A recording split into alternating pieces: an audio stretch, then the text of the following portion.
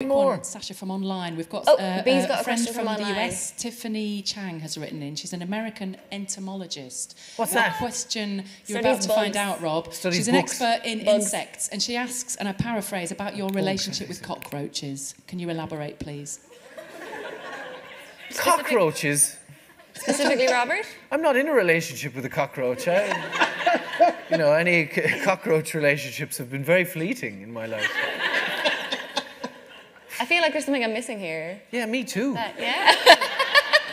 Why, co- why Insects was cockroaches? the wide, the wide. It was around the imagery and the use of insects and the imagery of insects in your short In- stories. in the book? Yes.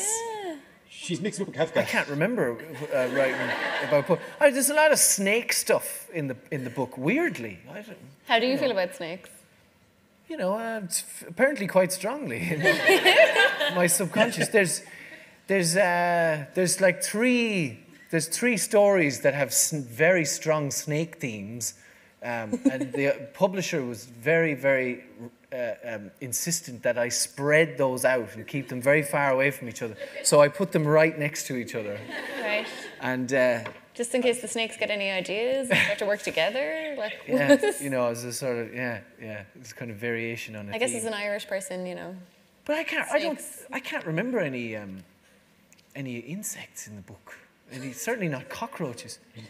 What's that? House in the Country story. Oh shit! Yeah, yeah, yeah. to be honest, that one and the other one I'm trying to kind of keep on the back burner because of the sexual abuse.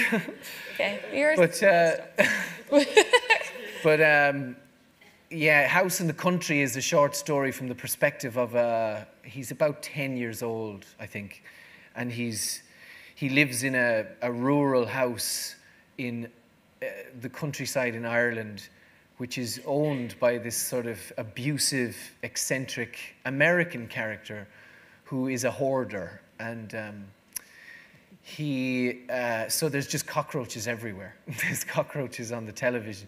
Yeah there's a cockroach called hootie who sits on the tv to get a suntan.